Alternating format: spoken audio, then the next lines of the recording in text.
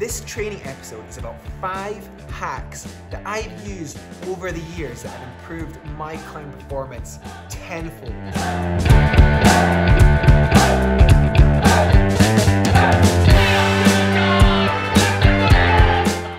These are things that when I found out about them, they changed the game forever and I'm still using them to this day and still getting tons and tons of benefit from them. So what do I mean by a hack? Well, honestly, these are things that you can implement straight away to your climb performance. You're not necessarily gonna have to train to get stronger or train these things to get better, but they're gonna be things you can implement right away into your climbing and get benefits directly from them. All right, guys, hack number one, time to stick those tricky heel hooks with a heel cam. Everybody thinks they know how to heel hook, but I have a hack that's gonna make things a hundred times better. The pros and the master heel hookers know what they're talking about, but this hack is gonna give you more control, more support, and altogether more power when you're sticking tricky heel hooks in on a hold. So this hack is called the heel cam, and it's basically just placing your heel on a hold at a particular angle which allows the heel to create pressure against the hold and the wall, which then locks it in place. So the best way to do this is to open your hips up when you're placing the heel and to place the heel at an angle on the hold, usually around 45 degrees away from the wall. And then you close your hips, tilting the your, your toe kind of more towards the wall, and that action will cam your heel against the hold and the wall surface, creating that really heavy amount of pressure and support that you need to keep your heel in contact with the hold. If you didn't use this heel camming technique, you would just find that your heel was less stable. It might slip off, and you just won't have as much support or power through your foot for doing hard moves. So watch out guys, one thing to take into consideration, not every heel is gonna take a heel cam. For example, if you've got a massive sloper and you're just slapping your heel on and using a lot of compression to keep your heel there, that's not gonna require a heel cam. However, if you have, a, say, a smaller heel hook or a point where the angle changes and there's a position where you can get camming between that point and the hold, then you will be able to use a heel cam. Trust me when I say this guys, this hack is honestly one of the best hacks I found in climbing. It's allowed me to do some of my hardest climbs to date, being able to rest in positions where I never thought possible to rest, and just altogether, it's one of the best things I've ever found in climbing.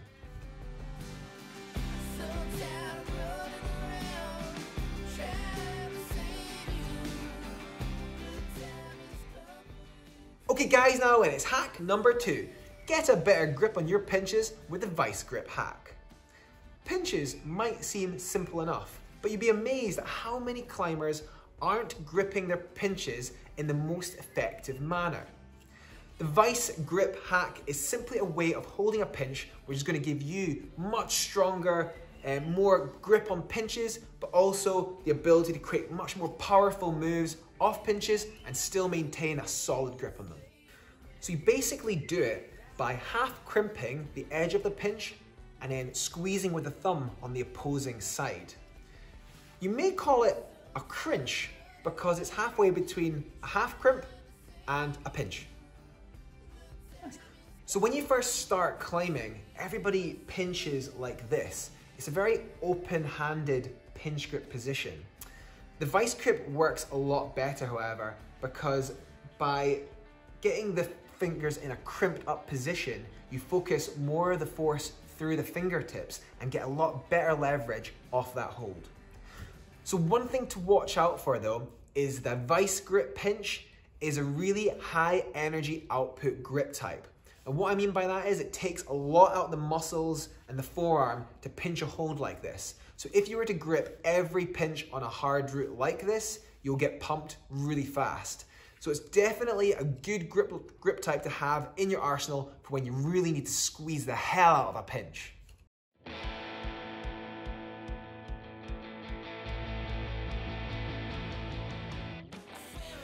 All right guys, and it's now time for hack number three. Time to take the weight off with a cheeky wee knee bar. The knee bar has suffered a lot of controversy over the years, people saying it's not a legitimate technique. And that has meant a lot of people have avoided it.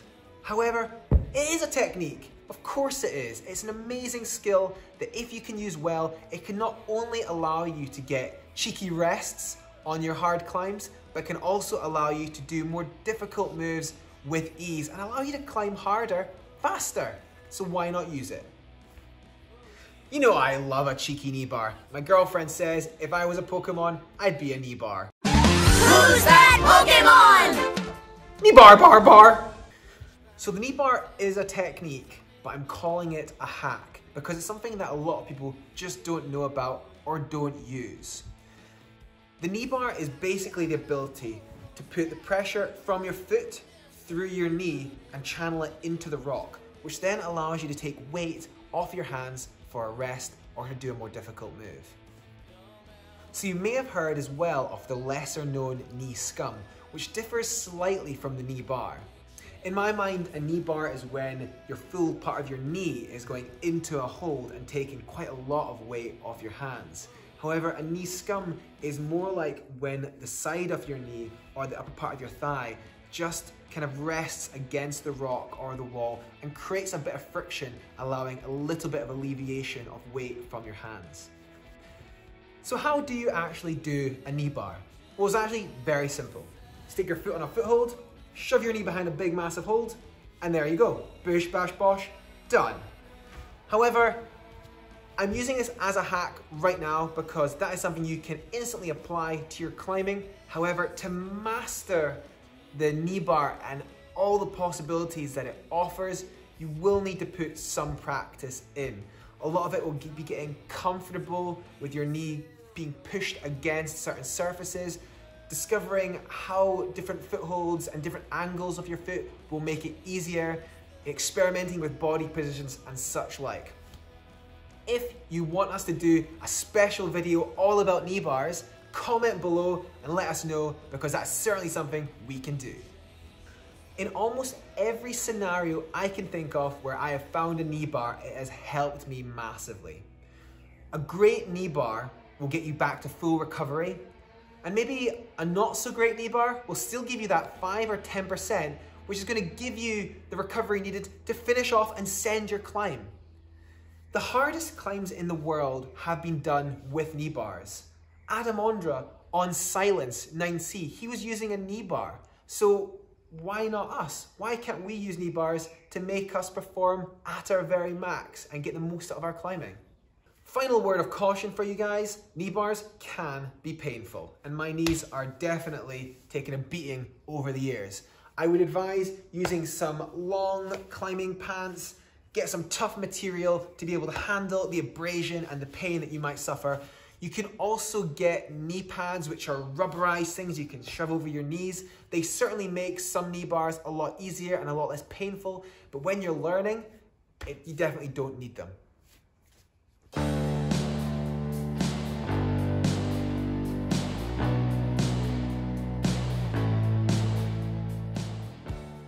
Okay guys, it's now time for hack number four, and this one is a special one. It's my favorite. How to hold on harder with less pump. The secret quarter crimp.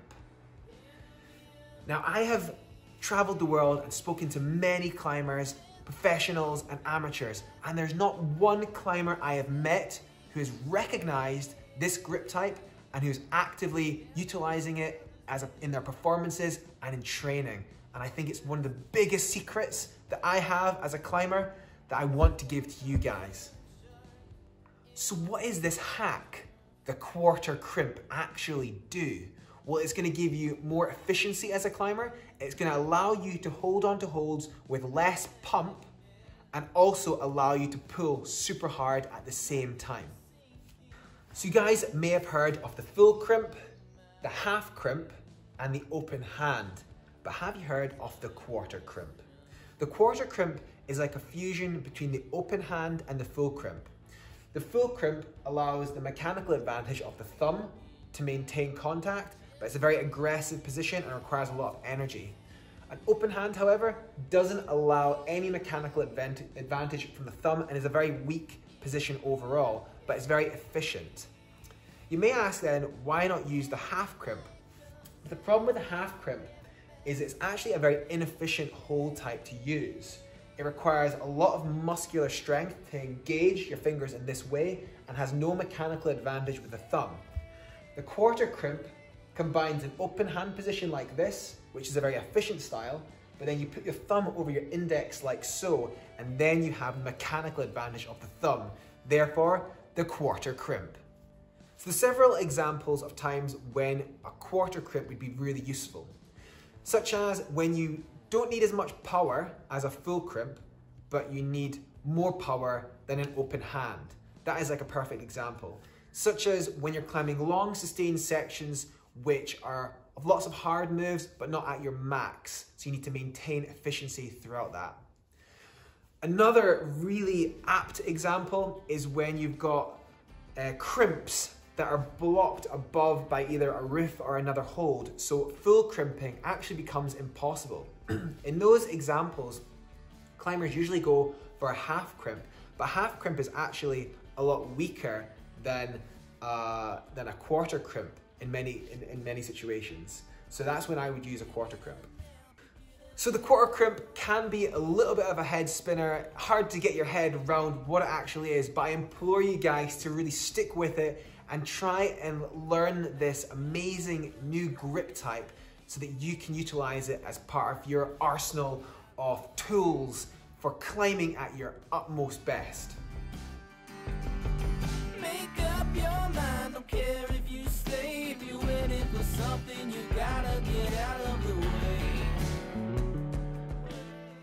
Alright guys, we're on the fifth and final hack. Time to jump further with this super simple dyno hack.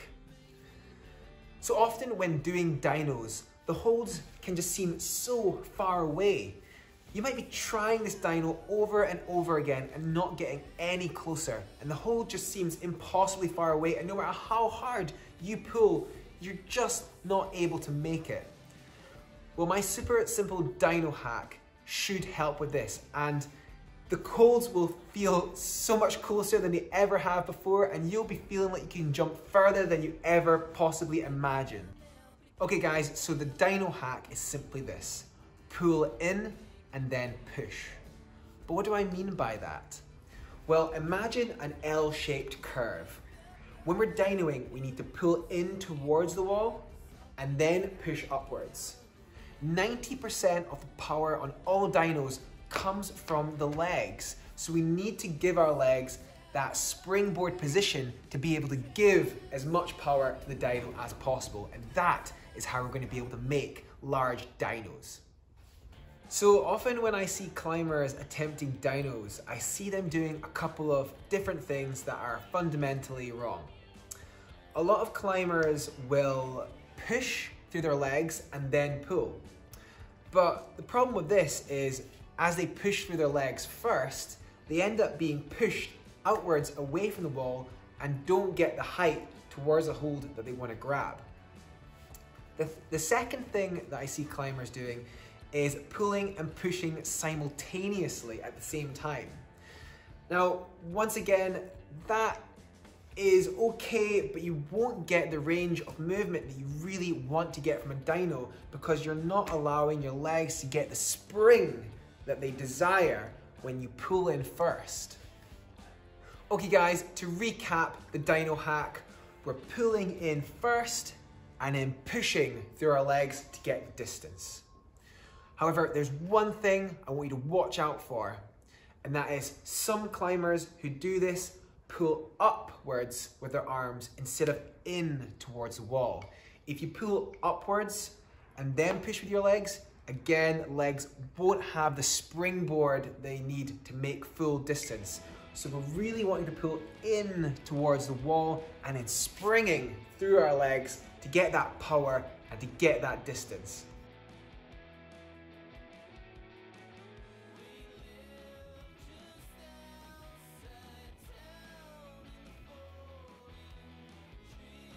Alright guys, and that concludes my top 5 super top secret hacks for your climbing. Hope you guys enjoyed that.